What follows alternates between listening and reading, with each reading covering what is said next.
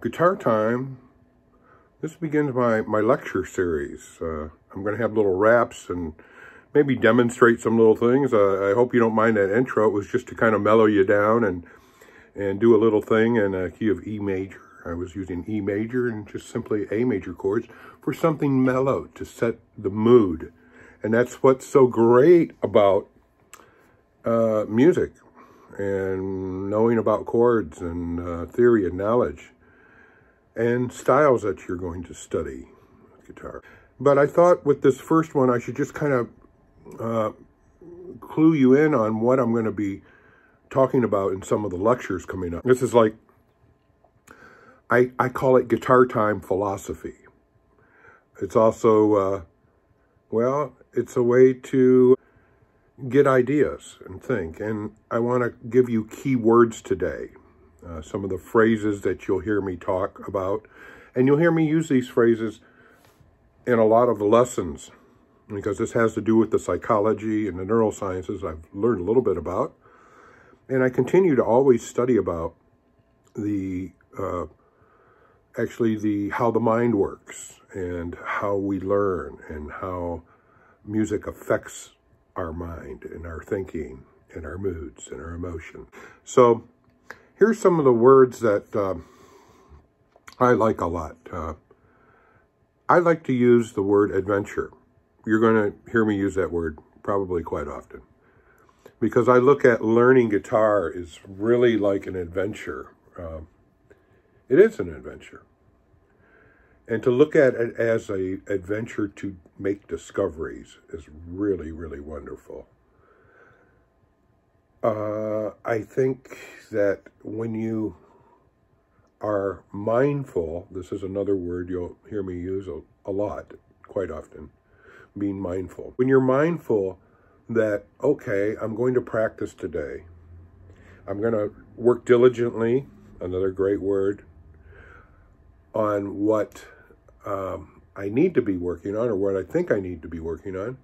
But I'm also going to spend some time really taking some adventures with some of the chords I use or scales I'm using, arpeggios, some of the elements, maybe the song I'm working on or this progression I'm playing.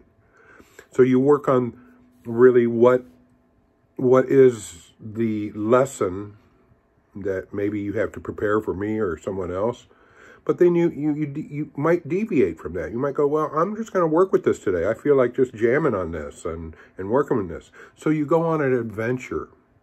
And what happens on adventures? You make discoveries. yeah. So it's, it's a great way of learning um, because when you make discoveries, you then have questions for me or you have questions that you need to find answers to. And this is how you become not only a better musician, a guitarist, but maybe better in life, maybe a, a better thinking person, you know, a person that reasons. So that leads me to the words of uh, accuracy. Well, do we want to be accurate? Yeah, we like to be accurate in life. We like to make good decisions. We like to rationally reason to make good decisions. Rationally reason our practice time, our practice routine. Are we just flying by the seat of our pants? Or are we, do we have a, uh, maybe a outline in front of us that these are the things I need to work on today? That works for some people, it really does. Uh, but also, I just want to uh, actually work on my accuracy, you know, like applying it to scales, to arpeggios, to riffs I've learned, to chords that I'm working on. Uh, chord switching when you're a beginner, getting from chord to chord. How can I, I like this word too, finagle. How can I finagle my finger placement to make this chord work? Is there an issue going on with my thumb or my hand in playing a chord? Is it with my right hand, something I'm doing wrong here? Maybe a combination of both. So accuracy is a really good thing that we shoot for. And accuracy involves another word I like to use, a key word would be challenge. Yes, there are challenges in life, but to be a good musician, to be a good guitarist, or a great guitarist, it's a challenge. What are the challenges? You have to find out what your challenges are. When you're a beginner, there are certain challenges that are in the fundamentals of learning, building a foundation, I talk about, and so that you can start to learn about the guitar theory, the geography of the fretboard, the nuances, the colorations, all that type of thing. Uh, so that's maybe the challenge. What is the challenge? What is the challenge today when you practice? What is your challenge for tomorrow? What is your challenge weekly, monthly, yearly? What goals am I setting? What am I hoping to attain? What am I working for? Uh, maybe it's you've heard someone else play or you watched a video and you're challenged, wow, I want to be able to do that. Well, I'm going to challenge myself. I'm going to work to be able to play like that or to get this song, to learn this song, or to learn this technique. Techniques, yes are always a challenge. To get your fingers to play right, your finger placement. There's challenges all the time. So we have to be aware and mindful and maybe use that word challenge to help us with our practicing. Well, here's another word for you. Commitment. I think it's a wonderful word because are we committed to things in life. Of course we are. If you're a family person, you're committed to your family, your wife, your friend, friends maybe, your loved ones, your family. There are commitments, commitments at your day job, your work, your line of work, uh, whatever your profession is, whatever your career is. So we make commitments and we break commitments. But if you have made a commitment for the challenge of attaining your goals as a musician, a guitar player,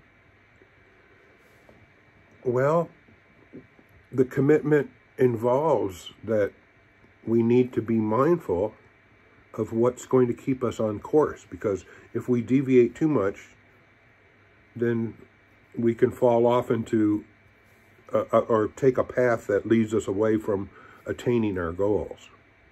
And it happens a lot. You just have to sometimes catch yourself. Sometimes you won't. And you'll go down the wrong path for a while and go, wow, I, I should have gone that way. Um, so I made a commitment to do the right thing, so I have to get back on course again. so commitment, I like that word.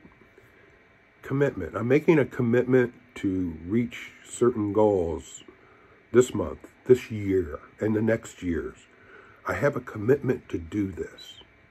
I've made a commitment to be as good as guitar player, musician as I can.